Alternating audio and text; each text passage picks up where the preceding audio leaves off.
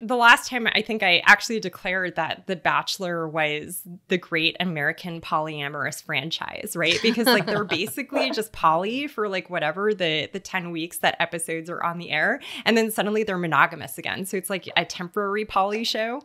I Um and it's kind of playing with the fact that people are actually interested in that idea. But at the end of the day, we return to our Puritan values. Like, it's like you take a break from being a Puritan and then um, we return to being a Puritan.